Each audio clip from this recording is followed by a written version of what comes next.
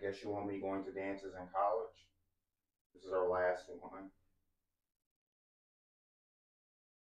You know, Davis has a terrific theater. If you're, if you're still interested in theater, are you? I'm probably no good at acting.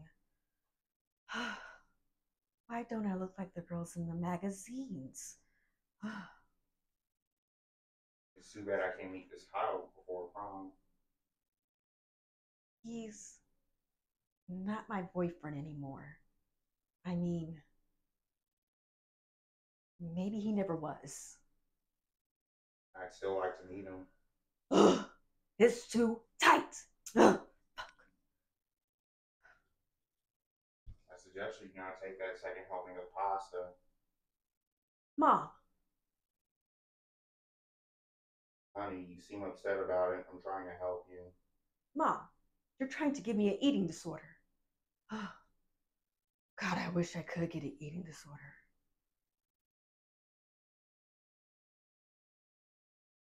I love it. Is it too pink?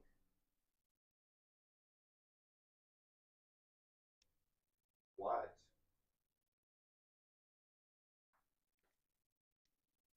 Why can't you say something nice about me?